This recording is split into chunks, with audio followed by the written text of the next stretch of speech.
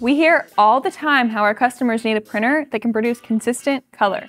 It could be because they have a repeat jobs that need to match what the client received the first time, or because they have a large job like wallpaper, murals, vehicle wraps.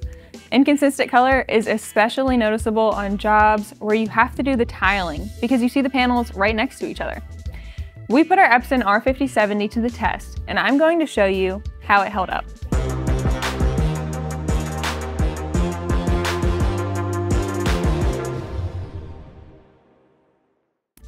To test the color consistency on our Epson R5070 printer, we printed the same image weekly for four weeks.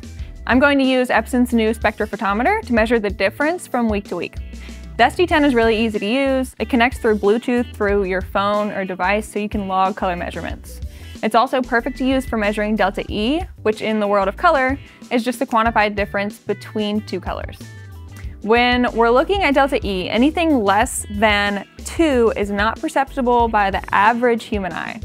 A measurement between 2 and 3 is just barely noticeable if you are trained and really studying them, because it's not something you will see unless you're really, really looking for it.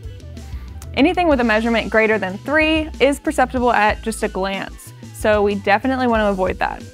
So I have the dated sheets here in front of me, one from each week, and I'm going to pick a color patch and see if we get a difference. With this SD10, we'll simply measure the first color to get a reading and then select color measure to see the delta E. Okay, so here we go. We're gonna start by measuring the first panel and we're gonna use the plus sign on the left side of the screen and just select by measuring color.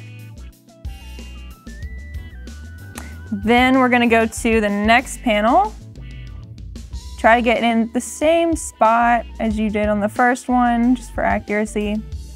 And we're gonna use the plus sign on the right side of the screen and say by measuring color to see the difference. So that's less than one delta E, that's really good. Then we'll go to the third panel and do the same thing using the right side.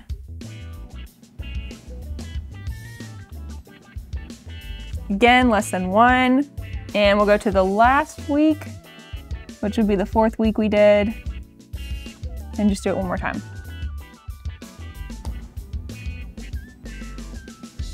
So that one was a little bit more.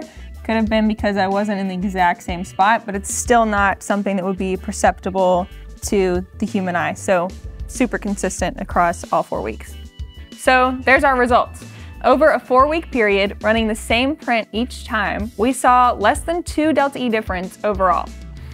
If achieving consistent color is something that is frustrating to you now, or you know it will be important for your work, give us a call and ask to speak with a sales rep about the Epson R5070.